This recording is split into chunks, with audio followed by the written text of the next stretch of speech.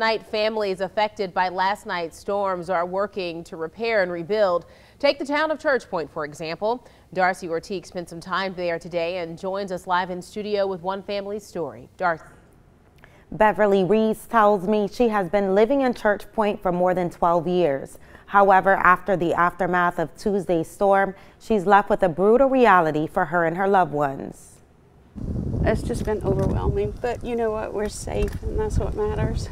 Reeves says Tuesday's strong winds and heavy rain caused a significant amount of damage to her home. It was my husband that was by the table, and uh, he just, it was so loud with the rain and stuff, he really couldn't hear anything, and he just heard a bunch of boom, and he said by the time he got out, it was over.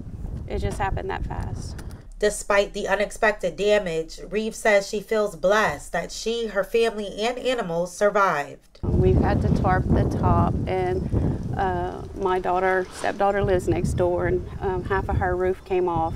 Miles Carrier is Reeves' soon to be son in law. He says he wasn't expecting this, but says he's thankful his family is safe. I had some family and friends over last night. Uh, pregnant fiance wasn't feeling too good. She wanted some pizza. So we went to town, get her some medicine, grab her a bite to eat before the weather got too bad. Carrier says he got about a half a mile down the road when he could not see through his windshield. They started calling us concerned, wanting us to get off the road. We told them we were about five minutes away. We hung up with them, got about a quarter of a mile down the road, and when they called us back, they were all in the living room saying that all the windows were shattered out.